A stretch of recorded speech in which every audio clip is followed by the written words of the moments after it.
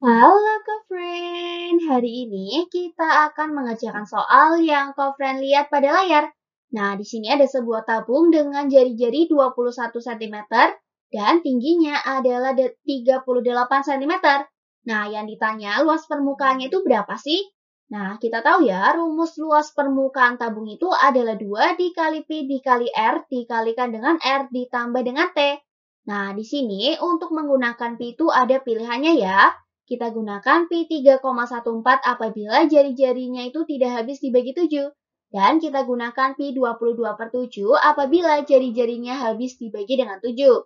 Nah, di sini karena jari-jarinya adalah 21, dan 21 itu habis dibagi 7, berarti kita gunakan Pi-nya 22 per 7 ya.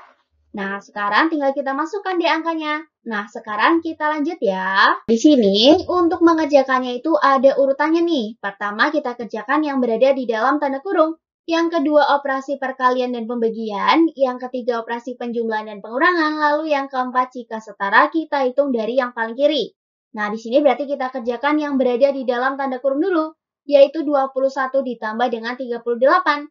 Nah, di sini kita hitung dari satuannya ya, 8 ditambah 1 adalah 9 dan 3 ditambah 2 adalah 5. Jadi kita dapatkan hasilnya adalah 59. Lalu kita bisa sederhanakan 7 dengan 21. Masing-masing kita bagi dengan 7 ya.